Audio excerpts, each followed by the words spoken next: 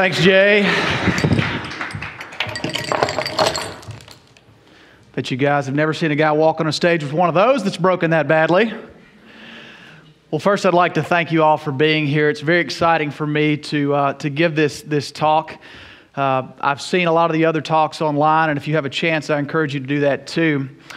My talk tonight is going to be about my dreams and building my dreams and what it's meant for me and how it sort of transformed my life just in the last few years being associated with old stuff. My title is called Bold and New Ideas. I highlight the word old because I've started to realize my dreams because of the old stuff that I've been dealing with.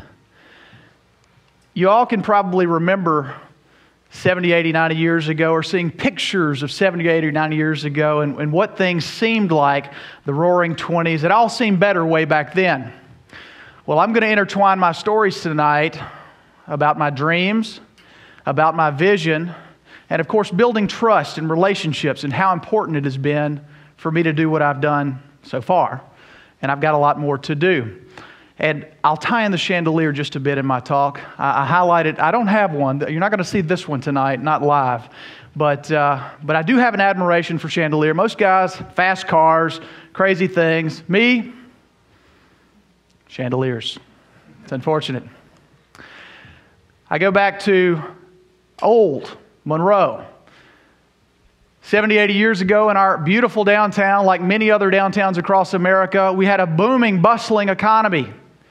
Thousands of jobs, beautiful buildings, incredible life. In fact, this building we're in today, the Palace, a wonderful destination shopping resort. Well, this is what I yearn for to bring back in the old buildings that I get to restore.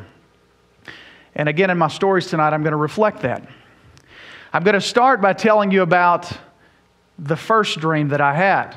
And like many Americans, home ownership is a dream.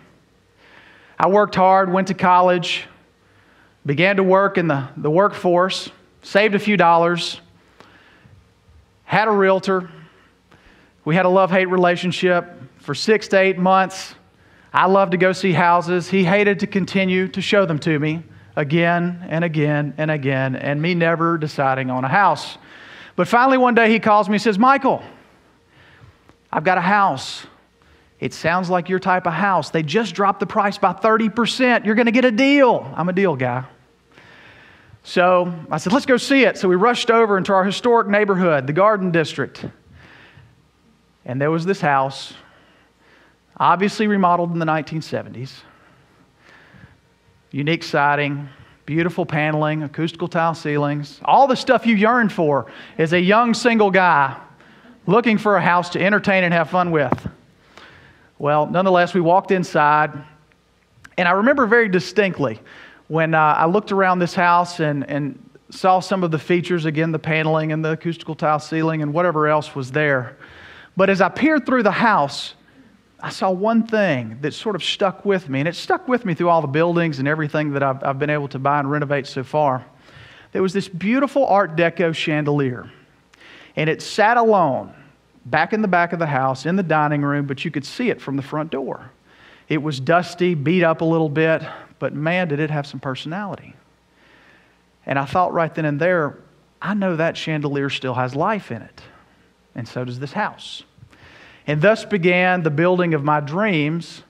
I acquired that house very rapidly, began to bring family over, and they looked at me like I was a lunatic for buying this piece of you know what. Three years later, fast forward, renovation. I used that chandelier. It was in a very key piece of the house, and it became a very prominent feature. Everybody said it was great. All the girls that I had through there said, That's a beautiful chandelier. so I knew I'd done the right thing.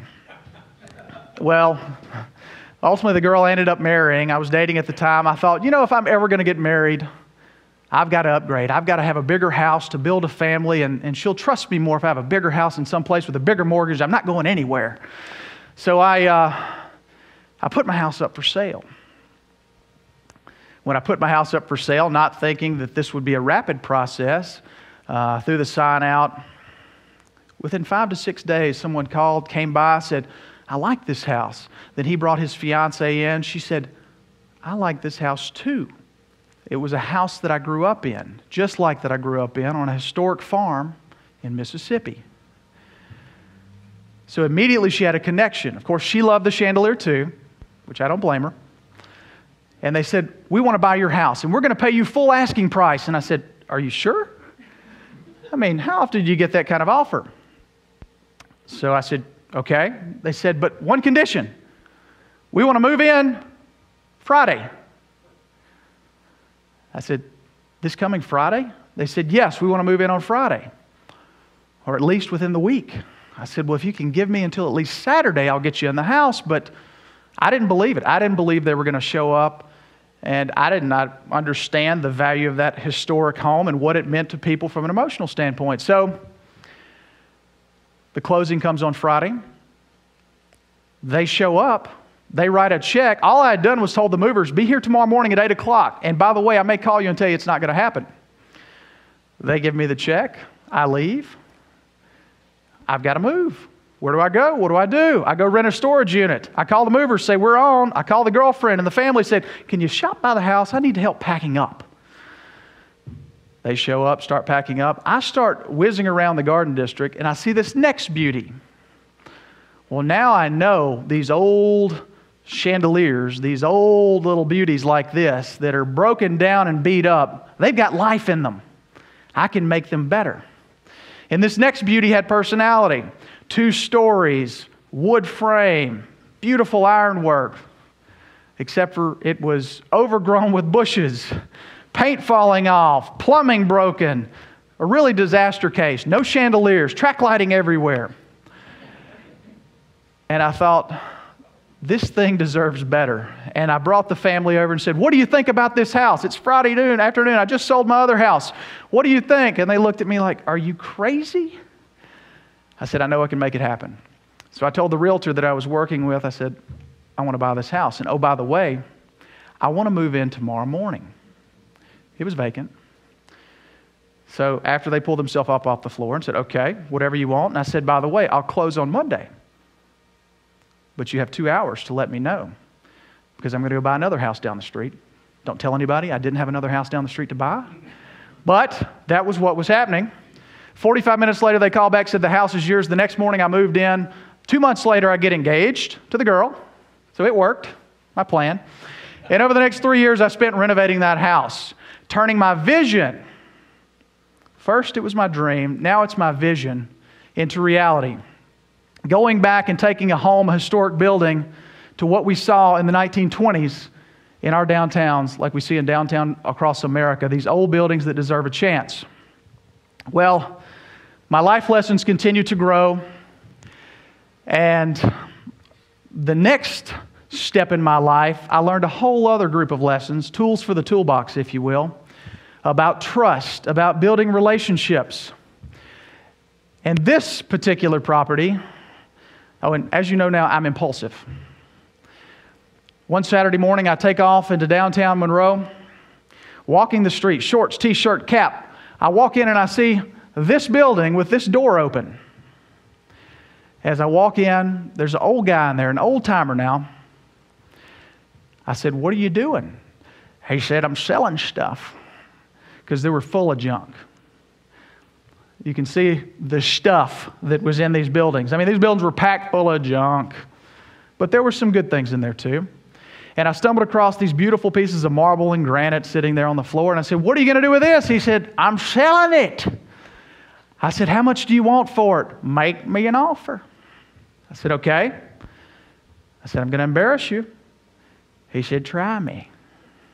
So I said, I'm going to give you $15 for those pieces of marble.